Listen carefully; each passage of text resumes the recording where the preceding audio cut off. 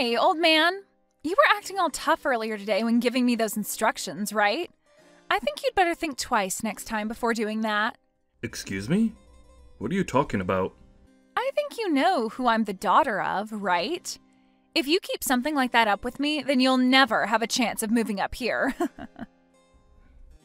Moving up? I know that you're the daughter of Mr. Sanchez, but I had heard from your manager that your attitude is something that needs to be adjusted. And so I was around today to see how things were going with you and to give you some help. that right there. I'm telling you that the way you're talking to me is not okay. I'm not the kind of person you're allowed to boss around like that. I am the daughter of this department's director. Please look at the position you're in and think if it's really okay for you to talk to me that way. Are you sure that you're not the one that should be looking at the position you're in and getting a better understanding of it? Excuse me? Everyone here knows that the only reason you were hired into this company is because of the connection you have. But I'd like you to stop thinking that gives you any power over me. You are just another new hire to the rest of us. You should be thanking me for taking the time to give you some pointers today on becoming a better employee. Being as blunt as you are with all your coworkers and management is not acceptable here. You. Do you even know who my father is? I told you I do. How many more times are you gonna ask me that? I don't think there's any reason for you to ask me that though. Eh, did you not understand the meaning of the message I just sent you a second ago? Right now, you are acting in a way that your father, Mr. Sanchez, is not happy with. At this moment, there are plenty of people here that are upset with your father because of you. They're not upset with him. They're all afraid of him, and so they won't do a thing about me being his daughter. I'm really not sure why you keep acting like you know better than me here, but I'll have my father come and tear you a new one. I'll have him do that with you. huh? Why would he do that to me? If he learned about the way his daughter acts while being here, he'd be disappointed. He's a very serious and diligent man. I have no idea what you're wanting to say here, but old man, think about the position you're in for me, please. If you act out any more with me, then I'm going to make you regret ever working for this company in the first place. I wonder if you could really do that. For the time being, Faye, I would like you to continue your work here with a more acceptable attitude, please. I am allowed to ask this from you, and I don't want to have to ask you again. So make sure to change the way you're acting here, or else things will not go so well for you. I think you can understand what I'm asking here, right? Not a single clue what you're asking me. I don't even have the time right now to talk with you, old man. You were the one that began texting me, hence my reply to you and your attitude. I, myself, am a very busy man and have things to return to, so I'll be going. Tomorrow, you'd better act like a well trained dog, old man. I'm only 40 years old, Faye. well, compared to me, you're old as a rock. Please think about what I've said to you today. If you don't, you'll have to bring some lube to work with you before getting talked to by him. Perhaps it'll be you that'll have to have a talk with your father. I think that would be much more beneficial to the company. Idiot! Was that coffee pretty delicious? You really went and spilled coffee on me now, huh? What exactly made you think something like that was a good idea? Do you know who my father is? You're a rude one. You already asked me that question twice yesterday, and here you come again with it. My father is the director of this department. I have more power than you do because of that. So, do you think you can stop trying to talk to me like you have been all the time, old man? I had to spill that coffee on you today because you wouldn't stop complaining about me. I'm going to have to teach you directly then that you have no power here, and not even your dad, being the director, will save you. What are you talking about? Have you gone insane now, Grandpa? I was going to tell my father about how you acted towards me today and have him chew you out. But then I decided spilling coffee on you would be more effective, and man, was it funny watching you react to that. I think I'll forgive you now. But don't you ever come up to me saying weird things again. Was the weird thing I said to you today me giving you some instructions? That's right. What is it with you and thinking you can tell me what to do? You are not the kind of person that's allowed to talk to the director's daughter that way. You should be thankful that I was willing to forgive you after I spilled my coffee on your head. What do you think you are doing to this company CEO? huh? The CEO? This is your father speaking with you right now. Huh? Dad? You come down to my office right now, you idiot. Hold up. Uh, Dad? Why are you upset with me? What's this about the CEO? I just had a word with your dad, and I believe he wants you to come down and speak with us. My dad was super pissed at me, but I had no clue about you, and so all of this was bound to happen. I'm done with you, Faye. After how hard your father went into you over how you've been treating me, you still don't understand the seriousness of the situation? You seemed pretty full of yourself when in his office. Are you going to listen to what he told you, or not? But I was thinking you were just some old man that's useless to the company. However, you're saying you've been the CEO this whole time? Are you sure you're not a fraud or something? A fraud? Stop trying to be funny, Faye. It's because of what you've done today that your father had to get on his hands and knees and apologize to me. Huh? Why did my dad do that? I told you guys that I just didn't know. Just assumed you were an old man on his way out of here. You not even knowing who your own CEO is definitely something I should have expected from you. But everyone else never spoke to you like you're the CEO of this company. So that means you're just a fraud, right? Can you please stop with the fraud talk, please? Is that the only response you have to me now? Well, it's the truth, though, right? Everyone just calls you Craig, so I assumed you were nothing more than a base level employee. And that's because I don't like being called anything besides my first name. You really don't want people calling you Mr. Turner or, or Sir? Why not? Would you give up on trying to cover up the fact that you're in fact a fraud? I would rather just have everyone call me Greg. I enjoy running a company where everyone can feel close to one another and don't have to feel distant when coming to talk with me. And it's that kind of stupid idea that made me think you were nothing more than an old man. If I'd actually known that you were the CEO of this place, then I would have never did what had to be done to you. What are you talking about, Faye? Whether I'm the CEO or not, you pouring coffee on someone above you is not acceptable. Actually, pouring it onto anyone is unacceptable.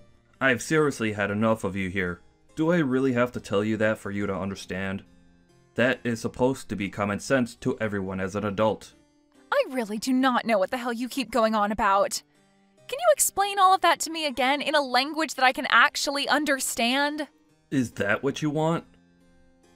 I totally overlooked you being the type of person that needs everything explained to you in a childish manner for you to understand it. Let me tell you that just because you're here because of your connection to your father, that does not mean you get any sort of special treatment. And you never seemed to understand that, did you? You seem to have thought that you could do whatever you want because you're the department director's daughter. But that's not the case. And I, the CEO, shouldn't have to be telling you something as basic as that either. All you've shown to me today is that you don't have an ounce of common sense in that head of yours. Well, you can say all you want, but I'm still young. Everyone else that was hired in with you is your age. The age of the people that are hired is not the problem here. But really, I never expected the day to come that one of my very exceptional employees would have to come apologize to me the way your father did. Making my dad apologize to you like that is screwed up, by the way. Are you Satan or something? Why would you do that to my poor dad? I totally forgot. You need things explained to you like you're a baby. You did something very bad today, and your daddy had to say sorry because you don't care about him. Does that help? Huh? It's because of you that your father had to come and apologize like that to me.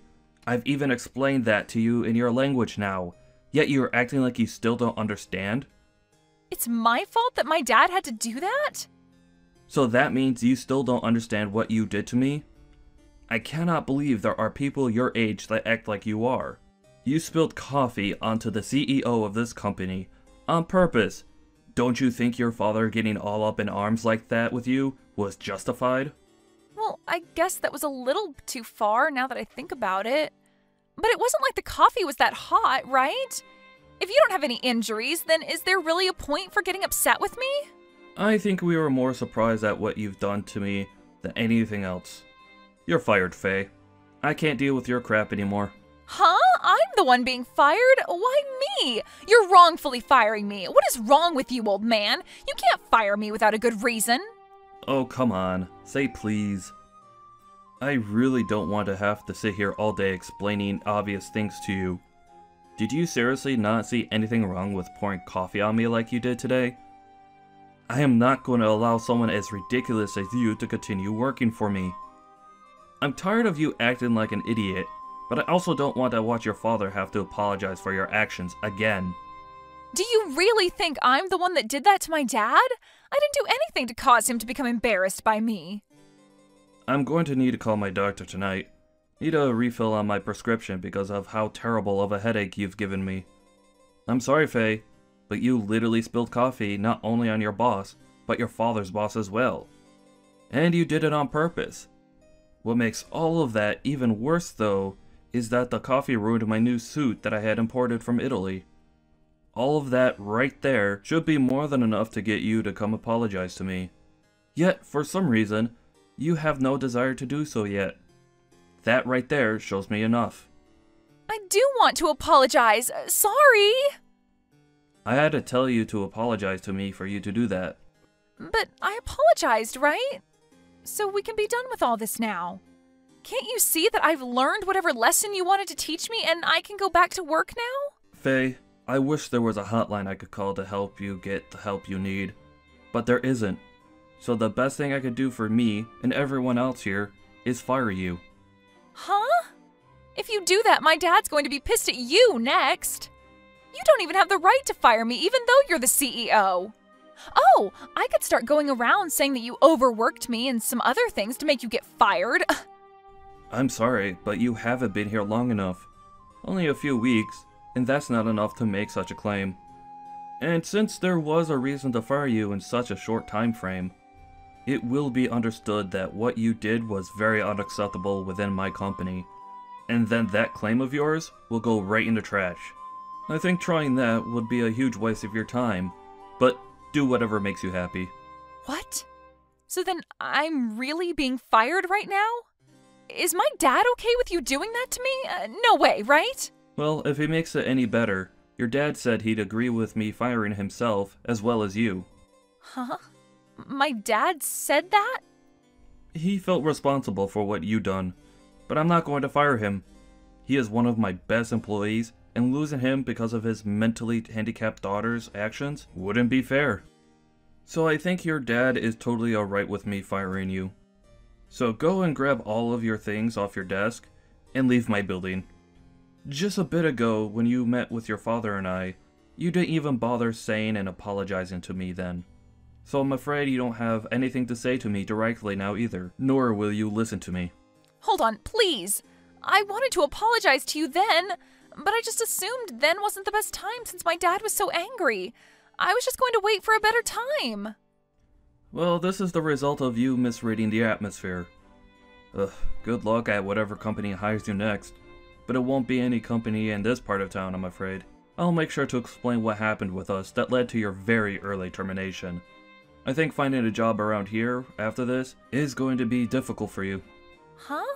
Wait, if you start going around and telling other companies about me, I'll be screwed. And now my dad's starting to tell me to leave the office and go away. He doesn't even want me going back to my parents' house now. If all of this is for real, then I'll be royally screwed, Craig. Not my problem.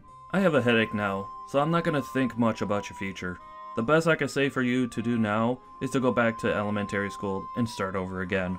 Now, I need to get going to the pharmacy to grab more meds for my blood pressure. Can you hurry up and get lost already? So you're going to be just like my dad? How am I supposed to go back to elementary school at my age? Jesus. that was a joke, Faye. I swear, the actual thing you need to do is go book yourself into the nearest mental clinic and have them do a psychiatric exam on you. But that's up to you. There's nothing left I can do with you now, and thank God for that. Now, thank you for your two and a half weeks here. You're just going to leave me? Ah, and I'm pulling the cost of my new imported suit from your next paycheck. I mean, your only paycheck. Huh? Are you kidding me? it's either that, or you pay me right now for the suit. At least be happy that you'll still be getting a hundred or so dollars from me. Wait a minute. Please think about all of this. My head hurts too much to think. Bye. There's a clinic down the street you can walk to that takes people without appointment, so go there. In the end, Faye was fired from her job and thrown out of the office building. And not even her dad said anything else to her, instead, choosing to completely forget about her as his daughter. He and his wife then cut ties with her and told her to never enter their house again. And as Craig had said to Faye, there would be little chance of a company near his office being open to hiring her, and so she was forced into a tough situation which her life teetered on. The following day, she came back to the office when Craig was walking into work and tried to apologize and ask for another chance. But he lashed out on her hard and forced her to pay for his ruined suit right then and there with whatever she had on her. And once she had emptied her purse of pretty much any money she had, he had security come escort her outside the office complex, and that was the last time she was ever seen by anyone.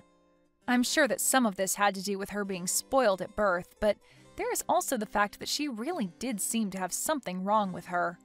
Everyone at the office, including Craig even, hopes that wherever she is now, she's getting the help she needs.